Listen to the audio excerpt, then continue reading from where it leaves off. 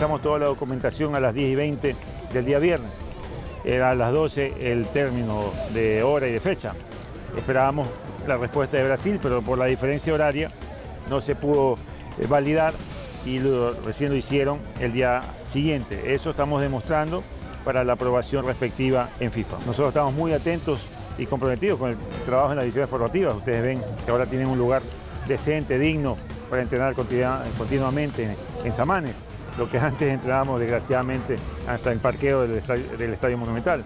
Y estamos llevando a cabo una planificación en diferentes puntos de la ciudad y del país para poder detectar los futuros talentos, con una buena planificación, con capacitación, con apoyo, con respaldo, con organización, y esta es prueba de ello. Hoy entregamos con ayuda, insisto, de la empresa pública y la empresa privada, que nos hemos puesto a trabajar en equipo para poder coordinar este tipo de acciones. Vamos a eh, públicamente hacer el compromiso de parte de la taquilla entregar a la familia de los familiares. Sabemos ejemplos de una señora de, orfandad menores de edad, de 5, 7, 9 añitos. ¿Qué se harán esas criaturas?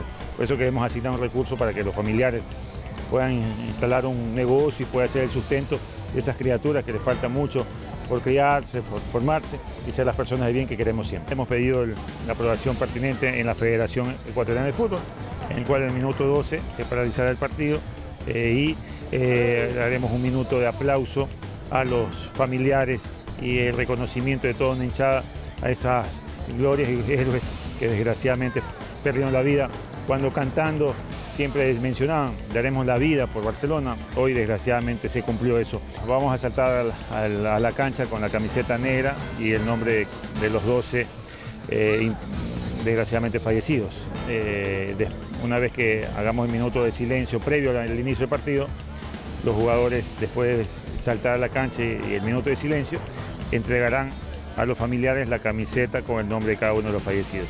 Después ellos pasarán a la suite presidencial y en el minuto 12 es lo que acabo de mencionar.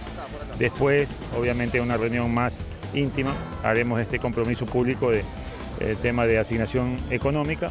También estamos gestionando otros valores que la empresa privada también se vincule para poder dar alguna ayuda económica a la familia de los fallecidos.